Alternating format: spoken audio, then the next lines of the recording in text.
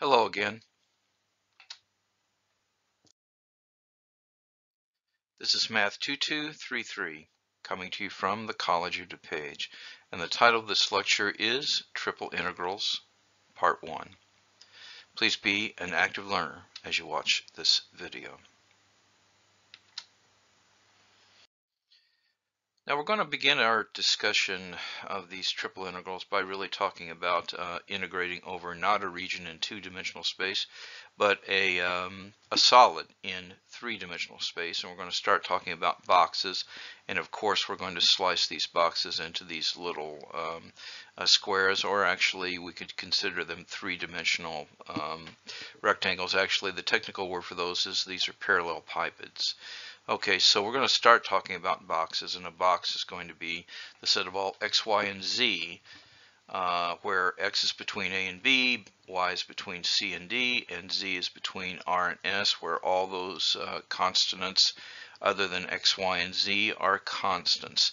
And so um, then we get all of these different boxes, and so we're taking the cross product of uh, those, getting a box that looks like this. And again, this is a parallelepiped. And so that's the little piece that we're going to, um, to get. And so then we will take a function that's a function of all three variables. So um, that is uh, going to be this f of x, y, and z. And you could think about this as being w equals f of x, y, and z. And we're going to take the, we're going to evaluate it at fixed points uh, within this interval, but then we're going to say it has to be independent of the points that we pick.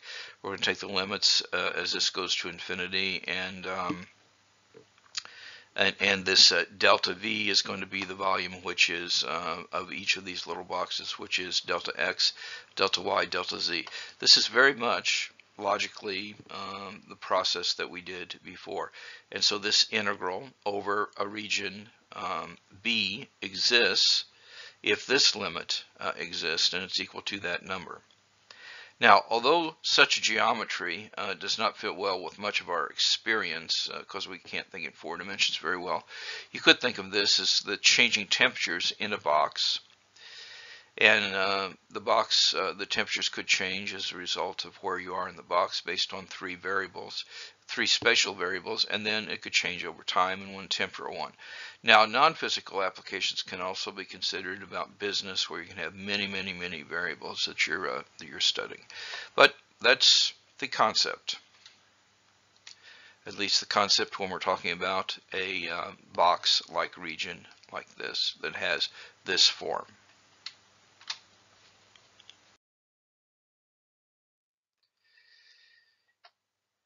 And so the uh, practical uh, method for evaluating triple integrals of this form is to express them as iterated integrals. And so here's a box, and this is a, b, c, d, r, s, as we said before. So then this triple integral over the box b of f of x, y, z, dv is equal to uh, this. This is going to be an iterated integral. Now what this means is you're going to integrate first with respect to x, then with respect to y, and then with respect to z. But Fubini's theorem tells us that if you have this situation, any order of integration will lead to the same answer. So sometimes you are compelled to change the order, sometimes it's convenient to do so, and sometimes it's totally arbitrary. But Fubini's theorem is true for triple integrals, and in fact, n-dimensional integrals as well. So let's dive right in. Uh, evaluate the triple integral over a box. Here's the box. Now notice that we, so you can get a number, we um, x is between 0 and 1, y is between minus 1 and 2, and z is between 0 and 3. So you're integrating over that box x, y, z squared dv. And uh, you know what to do. Let's see how you did.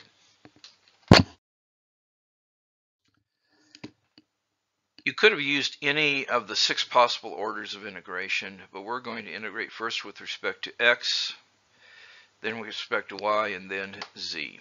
Okay, so you see the order of integration then is dx, dy, dz.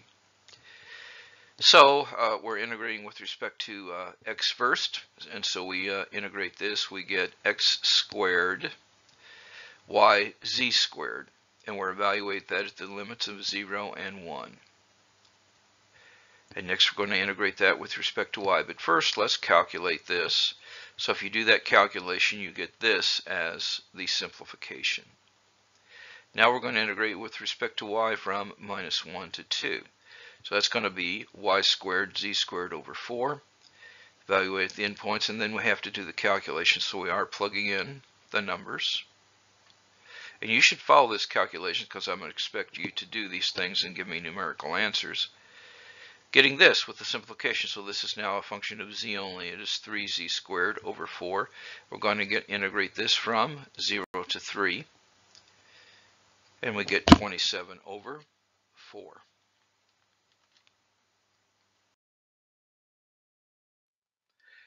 Okay, now we're going to define the triple integral over a more general bounded region E in three-dimensional space. This is a solid by much the same procedure that we used for double integrals. We're going to enclose E in a box B of the type that we gave already. Then we define uh, capital F function so that it agrees with uh, lowercase f on E but is zero outside of that. And so this integral is going to be the integral over that box.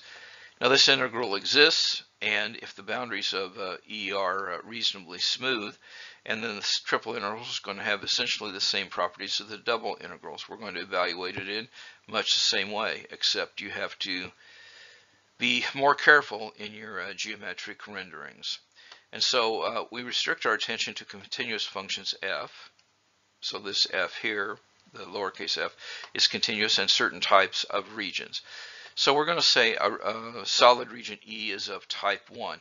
Now, a region E, a solid region of type 1 is different than a plane region of type 1, and so make sure you keep the terminology um, straight.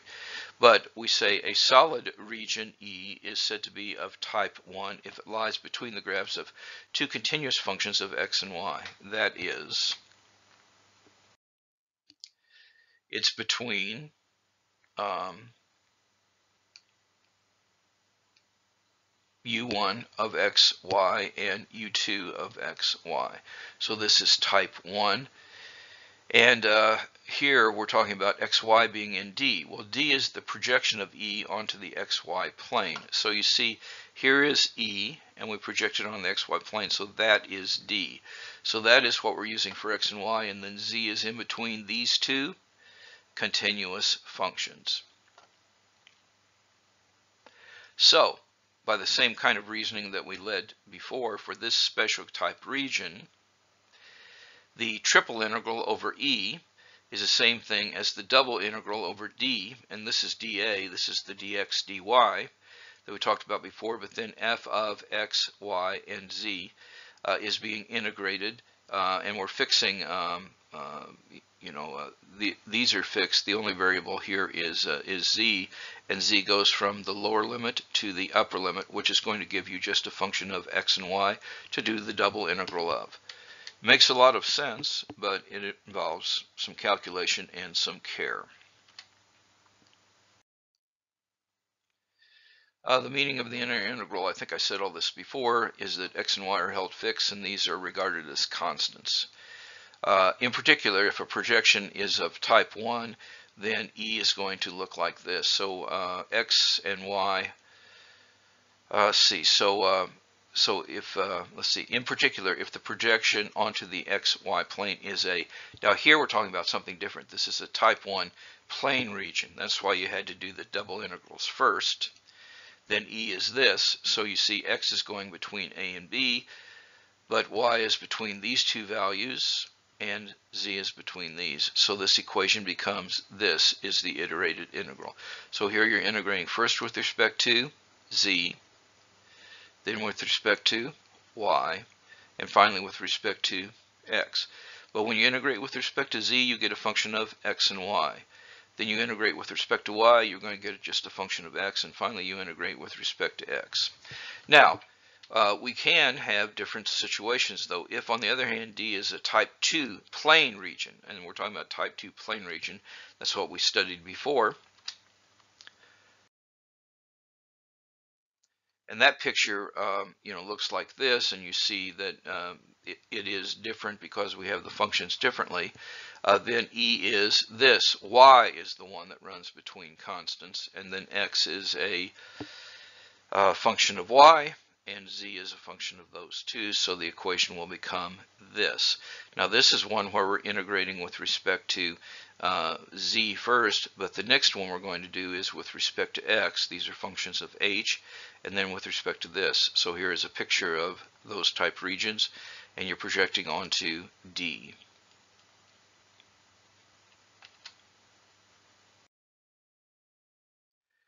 Let's ask you to uh, do a problem here. So evaluate the triple integral over the region, uh, the solid region E, and this is just going to be z dv and E is the solid tetrahedron bounded by the four planes. X equals 0 is a plane, Y equals 0 is a plane, Z equals 0 is a plane, and the final uh, fourth plane is X plus Y plus Z is equal to 1.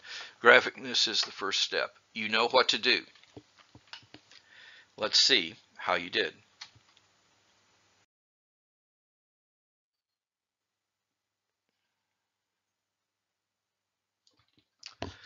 Okay, so uh, what we're doing is we're setting up the, uh, the triple integral and it's wise to draw two diagrams, one of the solid E and one of its projection D. Now the lower boundary of the tetrahedron in the plane X, uh, is the plane z equals 0 and the upper boundary is uh, this plane uh, x plus y plus z is equal to 1 or if you solve for z which actually makes sense the upper limit is going to be 1 minus x minus y. I just solved this for z. And so we're going to use u1 of x, uh, y is uh, u1 of xy is equal to 0 and u2 is equal to the top limit. Now notice that the planes intersect in the line x plus y is equal to 1. Now that means that is the projection that you have down here. This is x plus y is equal to 1 is that line in the xy plane. So the projection of E is the triangular region shown down here. So we're going to use that. But for now we have that E then is going to be this region. And again, verify this for yourself, but this is a set of x, y, z such that x is between 0 and 1, y is between uh, 0 and 1 minus x. You see this has to be a function of that. And then z is, as before, 0 less or equal to uh, z is uh, less than or equal to 1 minus x minus y.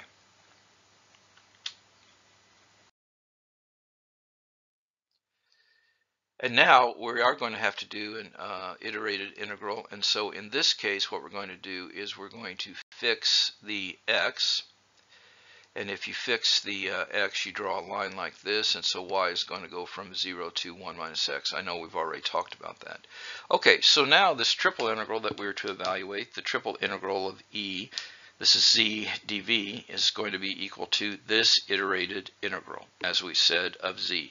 We integrate first with respect to z, and we get this is z squared over 2. I evaluate at the endpoints, I plug in the numbers, and I do the calculation. I get this. Now this is a function then of x and y. I integrate this with respect to y. These are the limits of integration. The 1 half uh, sits out here and dx is still over here. It's held constant.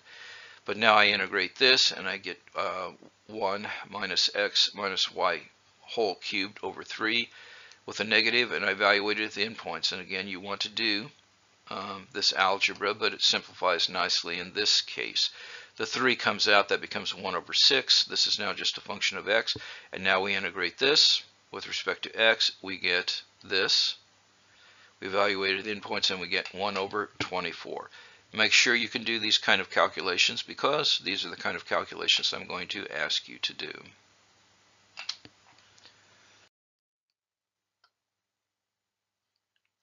Now, uh, we are talking more about the solid regions of, is of type 2 if it's of this form, and that means xy still is in a projection, uh, but this projection is xz, not x, uh, xy, I'm sorry. This is yz. And so that is the projection that we're going to be entering, uh, doing. And so those two variables are controlled that way.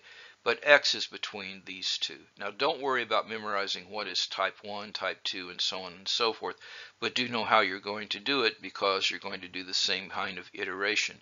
We're going to be integrating over d, and it's going to be this area of d that's a two-dimensional integral. This is dA, but here we're integrating first with respect to x.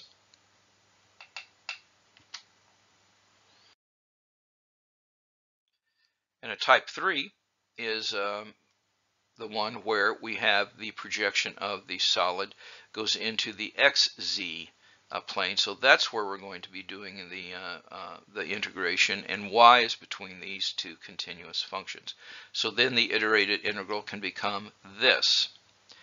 And a lot of times you're going to have to choose which way to go to come up with, uh, with these limits of integration.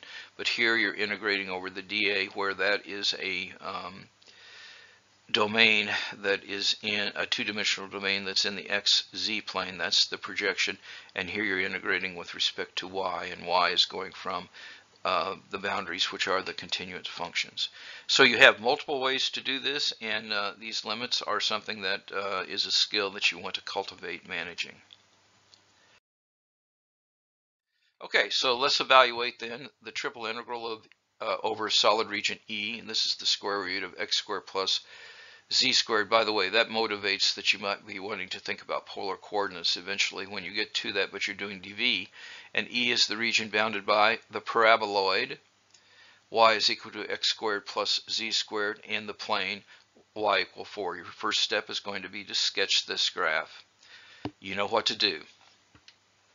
Let's see how you did.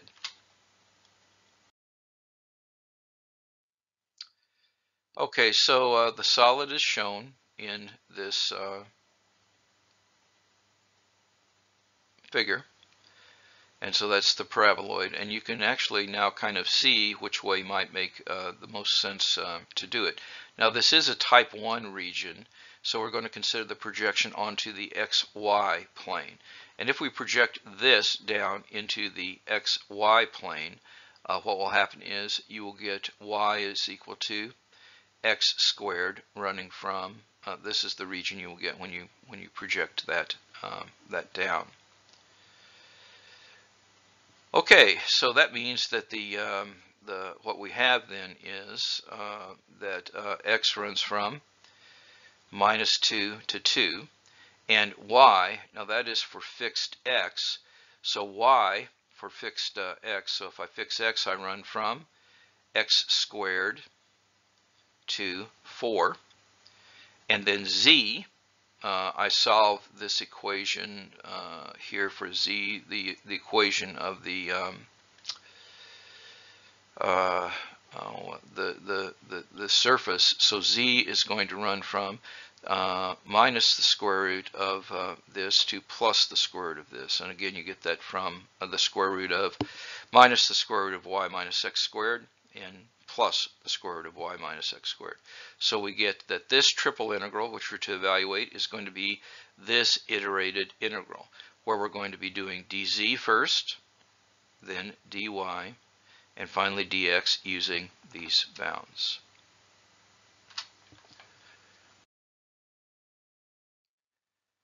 Now, although this expression is correct, it's very difficult to evaluate this, uh, this integral. So we're going to change things around. And instead of doing it in this order, we're going to do it in a uh, different order, and we're going to do dy first. Now, if we're doing dy first, that means I project this three-dimensional object into the xz plane, and this is what you get. And this is a very uh, tame region uh, to do this. And the left boundary of E is the paraboloid, y equals x squared plus z squared, and the right boundary is going to be um, y equal 4, because again we're projecting this into the xz. And then we're going to be able to take the um, functions being uh, the uh, bottom function is going to be uh, x squared plus z squared, and the top one is going to be 4. We get that from our uh, general equation. So this integral becomes this integral. Again, we're integrating with respect to y first. and we make those uh, those changes and then this is going to be this integral here so when we integrate this with respect to um, y and those are the limits uh, this is what you uh, this is what you get and you should verify that uh, that calculation but it is a simple calculation because this is uh, uh, pretty much a, a constant and that is a typo that should be x squared plus z squared. So correct that in your, uh, in your notes dA. So now this integral could be written uh, this way uh, as we go, but again we said, oh, that was really nasty doing that. So it turns out that if you look at this integrand and you see that you have x squared plus uh, z squared, x uh, and uh, x squared plus z squared here, that polar coordinates would help you. So we're going to let x equal r cosine theta and z equal r sine theta. So if we make that change of variables then, uh, what will happen is, uh, now remember that x squared plus z squared is r squared. x squared plus z squared is r squared. Uh, so we get um, this r. We get 4 minus r squared. We get the square root of r squared, which is just r. And then remember that when we uh, change variables here, we end up with, uh, for polar coordinates, we have that dA becomes r dr d theta. So this then is the integral that we have. And now r is going from uh, uh 0 to 2, and theta is going from 0 to 2 pi. And notice that there is only r's here, so I actually could do that uh, in, an integrated uh, integral this way and do the calculation. You should verify this, but I get 125 pi over, actually that's 128, excuse me, 128 pi over 15. Now, you might say this is kind of um, involved, and I will tell you it is. This takes some practice, so please practice these problems. Um, and in fact, let's do one more example. Take this uh, iterated integral. And this is just going to be a general f of x, y, z, but you have to deal with this integral. And what I'm asking you to do is rewrite it as an iterated integral in a different order, integrating first with respect to x, then z, then y. Now that means you have to uh, play around with this uh, uh, geometry. It is not a calculation problem per se, but you are working with this uh, geometry. You know what to do. Let's see how you did.